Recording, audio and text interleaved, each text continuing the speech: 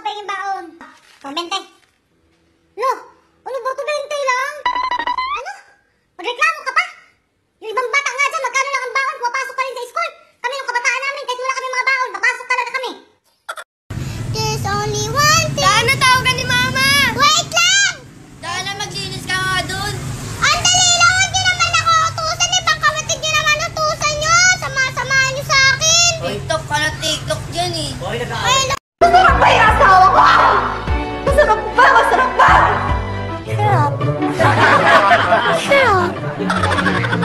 Sarap kaya.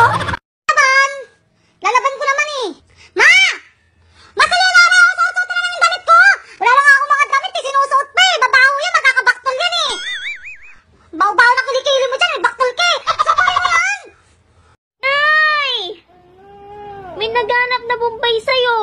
Ano? Sabihin mo wala ako. Hala, Nay, bawal magsinungaling sabi ng teacher ko. Ay nako, sabihin mo din sa teacher mo, siya magbayad.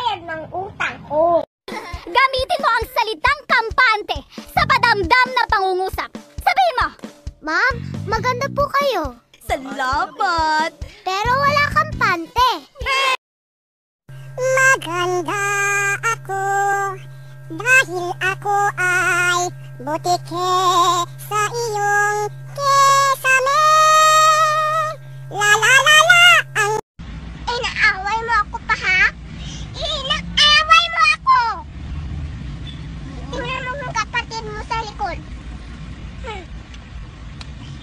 niya din ako. Inaawa mo din ako.